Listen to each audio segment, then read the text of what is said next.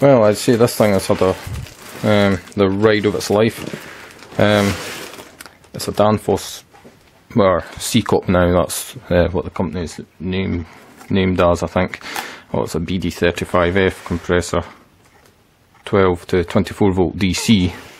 Um, and it wasn't cheap, and it came all the way from uh, Wroclaw in Poland, from the seller Wigmors. Well, that's seal layers damage.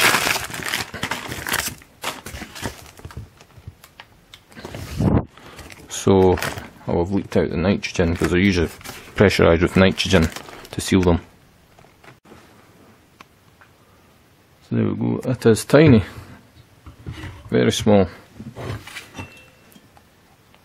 Well, there's no oil leaking out I don't think, so it's not too bad.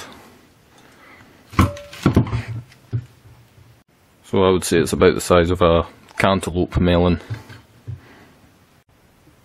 Now it says only with BD controller, but um, I've got my own controller that I'll use. I wasn't paying 90 quid for a controller.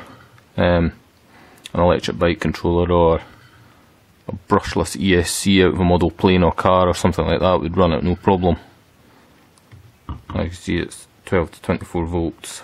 I'm not sure how they thermally protect it, that must be an external thing. But I've got this so I can make a refrigeration system that runs directly off my solar all the time. So it is intended for R134A, but I'll be using butane propane mix. Um, there's a certain percentage you mix, um, and then you get similar results to R134A, and that is compatible with polyester. Uh, hydrocarbon refrigerants do work with it, so I won't need to change the oil. So I will not be turning this on until it's actually been assembled into a system.